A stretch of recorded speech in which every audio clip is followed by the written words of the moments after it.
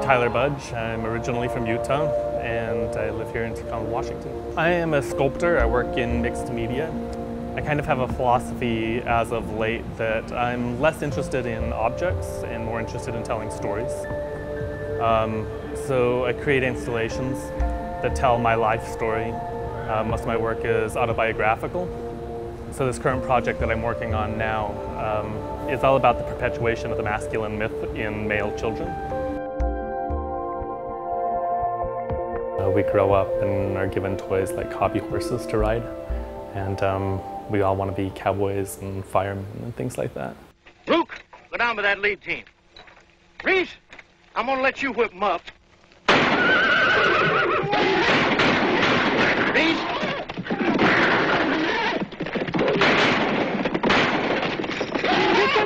Um, so I'm exploring a lot of different little boy toys right now in my work.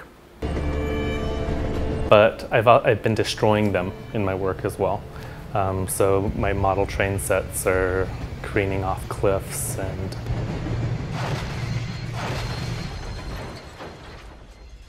So I've always been interested in glass as a medium. Um, because glass, the transparency of it becomes a window. Uh, so you get to see through that window into another world.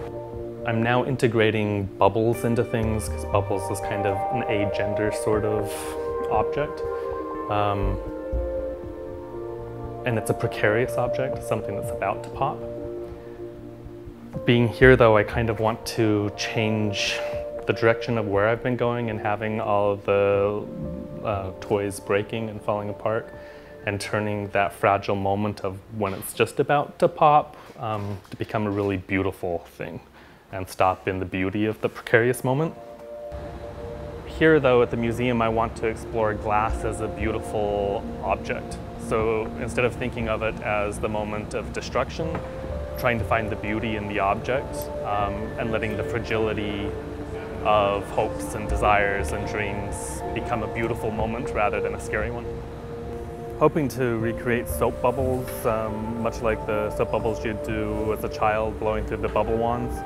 Ultimately the piece is going to end up as an installation, so hanging several different bubbles of different shapes that contain different fragments of horses um, once we've determined how big bubbles we can be blowing, I'll go back to the studio and create a giant bubble wand out of fiberglass or wood.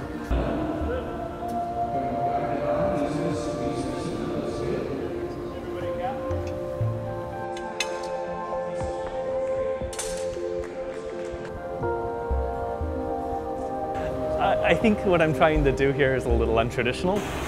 Um, so I'm really hoping this will just be exploratory and see what develops. Um, I've got a bunch of different ideas that we can play with, some that lean toward the more traditional vessel type object. Um, I don't know, here to play.